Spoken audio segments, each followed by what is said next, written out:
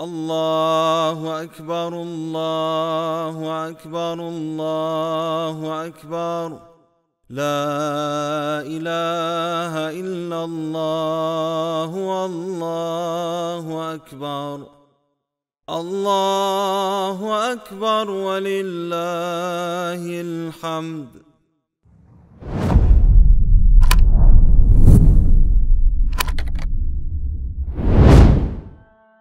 Liebe Geschwister, das Team von BDI wünscht allen Muslimen gesegnete Festtage.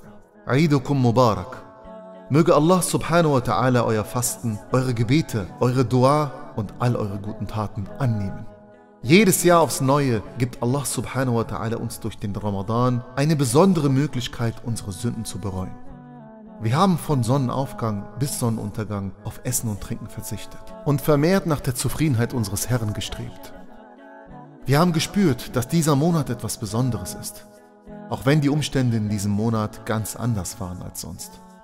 Allah subhanahu wa ta'ala hat uns mit einem unsichtbaren Feind geprüft, was uns ein wenig einschränkte. Familienbesuche, lockere Einkäufe, Sport, der Gang zur Moschee, alles nur eingeschränkt und teilweise verboten. Wer hätte gedacht, dass wir so eine Realität in Europa erleben? Doch lasst mich euch eins sagen. In Wahrheit hatten wir trotzdem alles gehabt, was man zum Leben benötigt. Hatten wir nicht genügend Essen? Mussten wir hungern? Und wussten wir am Abend nicht, womit wir unser Fasten brechen? Viele Muslime in der islamischen Welt erleben jedes Jahr dasselbe im Ramadan. Sie können ihre Häuser nicht verlassen, weil es keine Sicherheit draußen gibt. Jederzeit könnten sie von einem Bombenhagel heimgesucht werden. Für viele ist es eine Zeit des Leidens. Ob Sonnenaufgang oder Sonnenuntergang. Sie müssen trotzdem verzichten, weil sie nicht anders können. Schmerzen und Trauer seit Jahrzehnten. Trotz unserer Umstände haben wir alles gehabt, was andere sich nur wünschen. Wir sollten Allah subhanahu wa ta'ala dankbar sein für diese Umstände. Denn er hätte uns auch viel schlimmer und gewaltiger prüfen können. Aber er beließ es bei einem einfachen Virus. Und heute haben wir Eid erreicht. Es ist ein Tag der Freude, mit Familie und Freunde zusammen zu sein, lachen zu dürfen und sich freuen zu können. Ja, wir können lachen und uns freuen, aber für viele andere ist es nicht so. Und das dürfen wir niemals vergessen.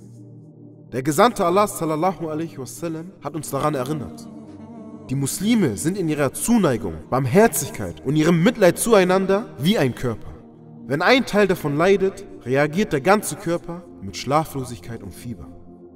Egal wie gut es uns geht, die Umma dürfen wir nicht vergessen, weil wir ein Körper sind. Doch es war nicht immer so. Die Umma hat auch schöne Tage erlebt. Der Eid war in der Zeit der muslimischen Herrschaft eine Zeit der Freude. Alle Schichten der Gesellschaft erwarteten den Eid in voller Aufregung. Mit jedem Tag, an dem der Eid näher rückte, wuchs auch die Freude in den Herzen der Muslime. Die Muslime begannen schon während des Ramadan sich auf die Festtage vorzubereiten. Sie kauften neue Kleidung für sich und ihre Kinder, damit sie mit ihrer neuen Kleidung zum Eidgebet gehen konnten. Sie schmückten ihre Häuser, bereiteten sich auf die Besuche vor. Eid war stets eine Zeit der Freude. Es wurde Essen an die Bedürftigen verteilt, die Kinder wurden beschenkt, die Älteren wurden besucht. Niemand war zu Eid allein. Der Kalif selbst öffnete seine Türen, damit die Bürger ihn besuchen konnten. Er verteilte Geschenke und schlachtete Tiere, um die Menschen zu speisen. Eid ist längst keine Zeit der Freude mehr. Geblendet von unserem Luxus und unserer Sorglosigkeit haben wir unsere Geschichte vergessen. Wir sehen diesen Tag nur noch als eine Zeit der Geschenke und des Konsums. Aber in der islamischen Welt, wie in Jemen und Sudan, können einige Muslime nicht mal ihr Fasten brechen, weil sie nichts zu essen haben. Sie laufen vor den Bomben weg, weil sie jeden Tag um ihr Leben kämpfen müssen. Meint ihr, sie können daran denken, ihre Häuser zu schmücken? Ich denke, das ist ihre letzte Sorge. Eine kleine Schwester aus Palästina beschreibt ihren Alltag mit folgenden Worten. Zu Hause haben wir kein Essen, deswegen suchen wir auf Müllbergen nach Brot. Wir betteln um Kleidung, denn das, was wir tragen, haben wir aus dem Müll gesammelt. Meine Mutter weint während Eid, denn wir haben nur dreckige Sachen. Mein Traum ist es, Kleidung zu kaufen. In Syrien gibt es für die Kinder niemanden, der sie beschenkt, denn ihre Großeltern sind den Bomben zum Opfer gefallen. Und die Älteren werden nicht besucht, denn ihre Enkel mussten fliehen. Es gibt niemanden, der sich um sie kümmern könnte. In Burma gibt es für unsere Geschwister keine Heimat mehr. Die Menschen fliehen vor ihren Verfolgern. Und in China werden Familien getrennt und in Umerziehungslager gesteckt, nur weil sie Muslime sind. Das ist ihr Tag von Eid.